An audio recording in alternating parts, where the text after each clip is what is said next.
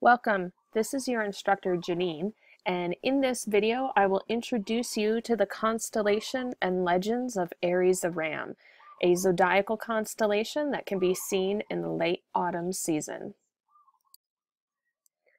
Let's begin with the legends that are associated with Aries the Ram. Aries is the second smallest constellation of the zodiac, and it is not a particularly bright grouping of stars, but its history and mythology go far back in time. Over the years, many cultures saw this constellation as a ram, and it was a very prized animal to the nomad tribes, particularly in the Middle East. But the most well-known versions of the golden ram comes from Greek mythology.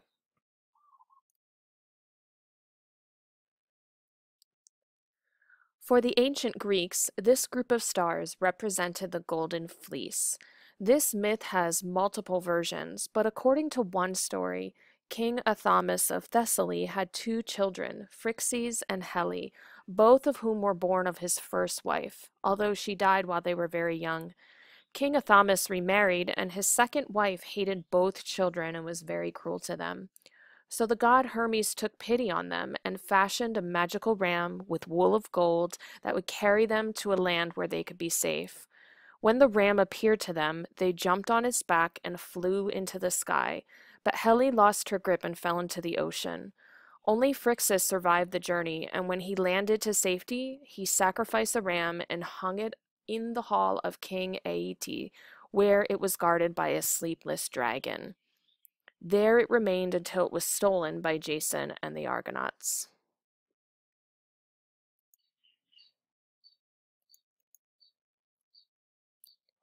Aries is classified as a zodiacal constellation, which means that the ecliptic passes through it. Remember, the ecliptic is the imaginary path that the sun, moon, and planets travel along. Aries is also situated very close to Taurus, bull, and this is important to realize because you can use some of the objects in Taurus to help you find Aries. Aries is also best seen during the late fall to early winter months. Now that you're acquainted with at least one of the legends of Aries, let's take a look at the pattern that makes up this constellation. Here is your first picture of what Aries looks like. And if a star cluster pops out to you and draws your eyes, that's completely normal. That is a very important part of this picture. However, that star cluster is not a part of Aries, but it can be used to help you find the ram. So when we take a look at what the star pattern is for Aries, it's this simple group of stars and there are not many bright stars within Aries. In fact, their magnitude is fairly similar. It is one of the most faint, faintest zodiacal constellations. So, what you want to start training yourself to do is being able to find the Pleiades. And the Pleiades are a part of Taurus. And if you can find the Pleiades, you can arc over to find the few stars that make up Aries the Ram. Here is another depiction of Aries, and as I will constantly tell you throughout this course, the patterns of all constellations vary across cultures and time, and you can probably point out the four stars that make up this constellation that I showed you in the previous slide, but then you can also see another addition. I like this photograph because it clearly points out the Pleiades for you and it shows the ecliptic, which is the path of the sun. Here is the only other picture I have of Aries. So as you take a look at it, can you find the Pleiades, the group of stars known as the Seven Sisters? And from there, can you arc over and find the four stars that make up Aries? And if you're noticing some other bright objects in here, can you take a guess at what that object would be, knowing what you have learned about Aries? So, Again, if you need a little more practice, you can always press pause and take time looking at this photograph and figuring it out as we go. When you're ready to hear the answer, you can always hit press play and then I'll go over those answers. So let's take a look and figure out where Aries is. This is exactly where Aries is located in this photograph. You should have hopefully been able to find the Pleiades, also known as the Seven Sister Stars.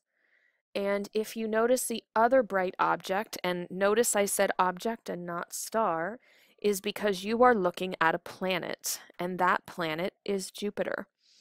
So anytime you can see a bright object like this close to a zodiacal constellation, it should make sense to you because the path of the planets, the sun, and the moon all take this general path through the constellation, both through the Pleiades and both through Aries. So far, we've been introduced to the legend of Aries, its very basic pattern of stars, and now I'd like to introduce you to the names of the main stars. Keep in mind, though, that these stars are pretty faint, and it has taken a fair amount of practice for me to identify this constellation in the sky. But with practice, persistence, and a very clear sky, you can also identify this ancient constellation. Here is the first picture I introduced to you showing Aries. And of course, your eyes should be drawn to the star cluster towards the left side of the screen. Use this star cluster to help you find Aries.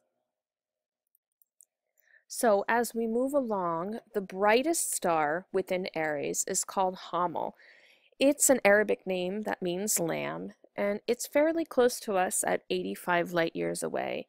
So keep in mind what that really means. Light year is a distance, so that means that light from Hamal takes 85 years to travel from there to Earth. Next, we have Sheratan. This is an Arabic name meaning two of something, and it is believed to be the two horns of the ram and this star is 46 light years away. And of course, not every constellation really looks like what it's supposed to, and, and how this star depicts two horns is not quite clear to me. But, you know, back in the ancient times, they had to use a lot of imagination, and it was more about passing on the legends and the stories as opposed to the stars really looking like what they're supposed to. And finally, we have Mesarthim, which is a Hebrew name, and it is the third brightest star in Aries, being 115 light years away. I still would like to point out the Pleiades to you, and this is an open star cluster in Taurus, and it's one of the most studied star clusters, and it is 415 light years away. I just thought it would be important to share this with you because the Pleiades is really essential to help you find Aries. So remember, if you can find this, you can find Aries.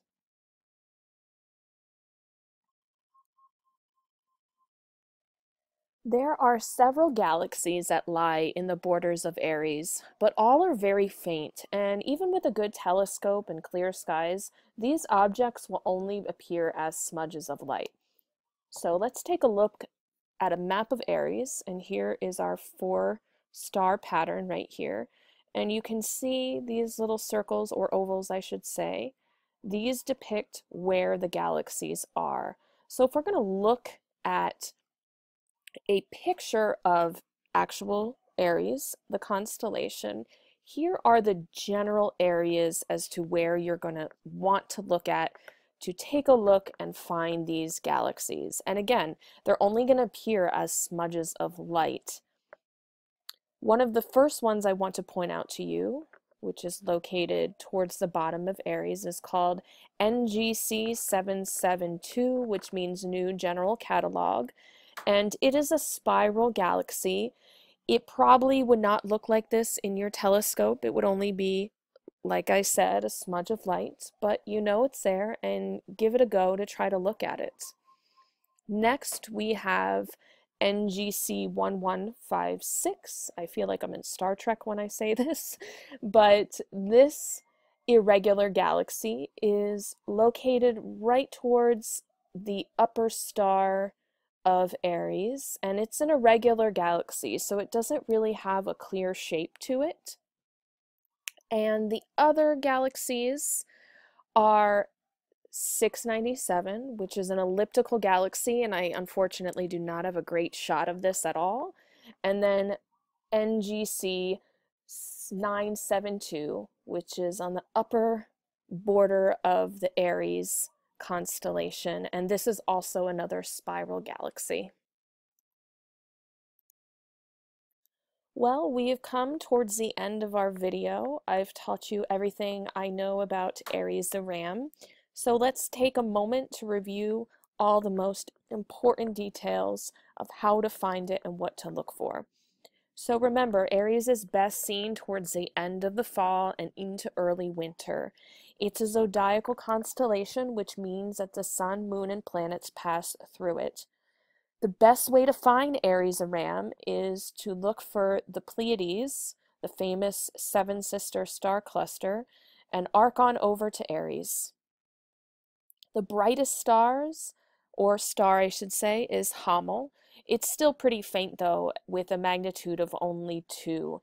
And the celestial objects, there are a few amount of faint galaxies throughout Aries, but they are pretty difficult to spot out, none of which I've ever been able to point out.